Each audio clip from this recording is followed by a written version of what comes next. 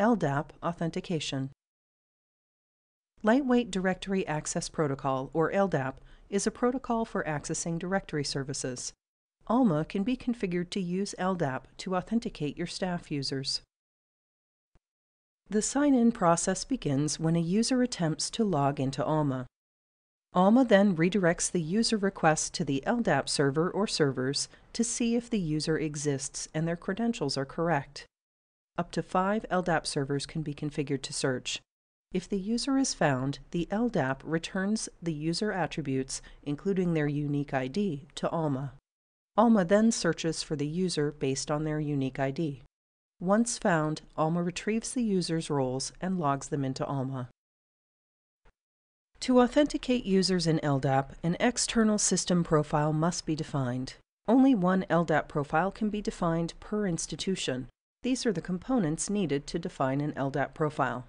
1. Determine the LDAP server or servers that will be searched.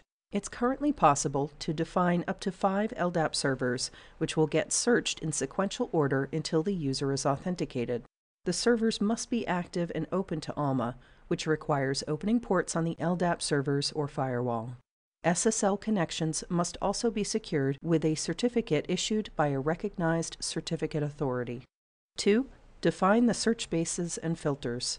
The user record is searched in the LDAP tree based on the search base and search filter. The search base defines the LDAP base to be searched, and the search filter defines the LDAP user attribute to be searched. And 3. Map the primary identifier field between the two systems. For each LDAP server, the LDAP user needs to be mapped to a user that ALMA recognizes. One of the user attributes returned in LDAP should be used as a matching point in ALMA, and it should be a unique identifier. To configure the LDAP integration profile in ALMA, go to the ALMA Configuration menu, General, External Systems, Integration Profiles. Add a new integration profile. Select the LDAP integration type, then enter a code and a name for the profile. Indicate the type of LDAP system that you are integrating with, then enter a description. Select Next, mark the LDAP as active, then enter the LDAP parameters for each LDAP server you will be configuring.